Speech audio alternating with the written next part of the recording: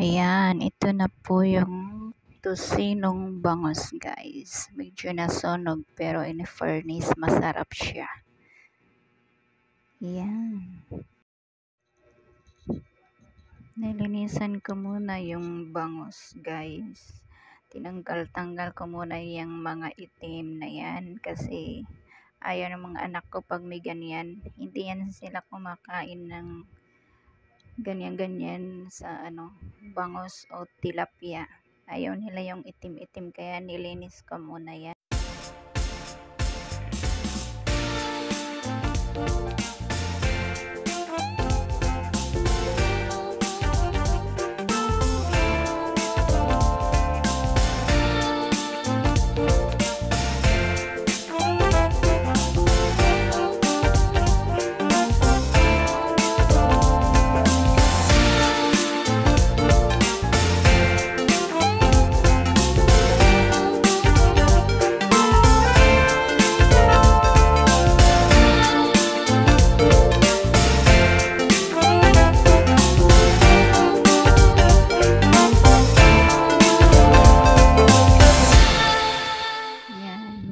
Malinis na siya guys.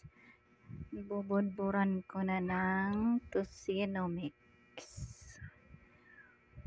yan siya. Pati yung ano yung sa balat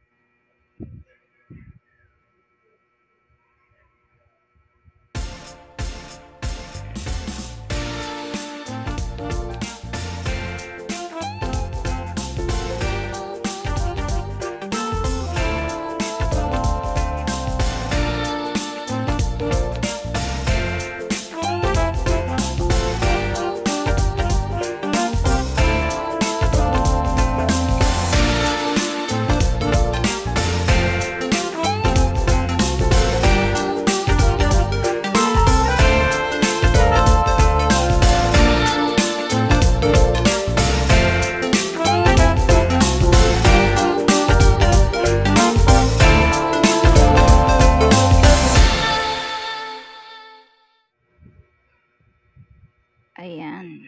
Pagkatapos ko siyang budburan ng tocino mix, ayan. Lagay ko muna siya dyan. Tapos, hayaan muna ang nating mababad para maano yung lasa ng tocino mix. So, ibinabad ko muna siya ng isang oras guys bago lutuin.